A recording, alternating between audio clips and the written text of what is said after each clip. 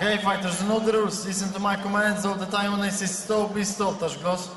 Go back to your corners. So Lucas Bazowski in charge of this bantamweight bout.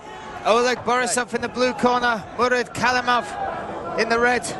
What's interesting to see as well, Borisov five foot three, but takes a, a, size large gloves. He's got hammer for fists. Whereas Kalimov, if you look across the cage, hasn't has opted not to have his hands wrapped, which is much more the grappler's preference.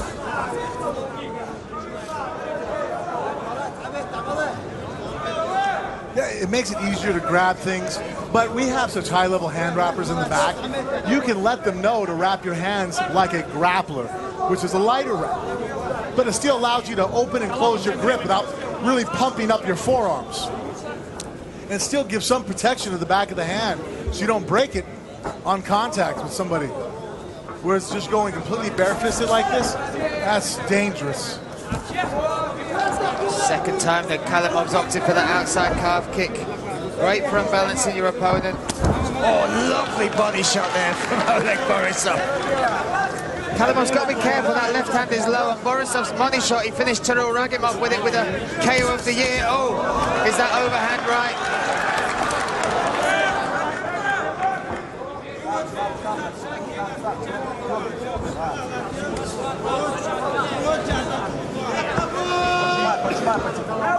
Borisov formerly fought at featherweight. Actually was on a huge streak before ACB 50, a 16-fight win streak. A number of those fights at featherweight, but really feels his home and his future and has made it down at bantamweight now. And oh, nice one-two from Kalimov. The more reason he put his should have wrapped his hands just a tad bit. Especially seems like the game plan here is to and you see him respecting the clinch takedowns of Borisov. That judo has come into play so many times in this fight. And his low, low center of gravity, it hit you so fast with a switch or a, a, a trip. You can, and he, he already has a sort of advantage once you clinch because his hips are lower than yours. So to get under your hips is not a hard feat.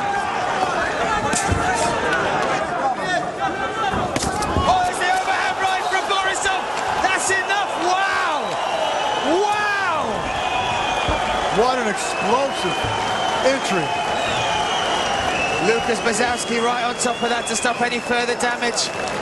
But I said earlier in the fight, Kalimov has got to watch that low left hand for the overhand right of Borisov. He closes distance so quickly and the powerful, powerful striker, especially early on in the fight. Talk us through this.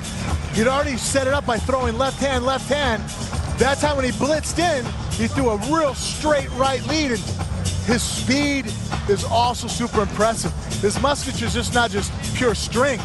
He's powerful, he's fast, he's flexible, so he can make up for that deficit of height by how fast he can close distance. Kalimov looking extremely disappointed there. The only loss on his career prior to that was four fights ago to Petr Yan, our current champion. So that's a huge scalp for Borisov and a statement as to why he should be considered one of the top contenders up in this division now. And what a night to do it on. The bantamweight title being contested, and you may just have scored knockout of the night against the top contender. Absolutely Impressive, well established. He was setting up left hooks to the body. I thought he was going to try to blitz in with a left hook to the head, and instead changed it up for everybody. Even Kalimov didn't see it. That right hand to the head. Razor fast. господа, ваш победитель пришел к вам через 2 минуты 12 секунд первого раунда. Ladies and gentlemen, your winner comes to you in 2 minutes and 12 seconds of round number one. Победу нокаутом одержал and your winner by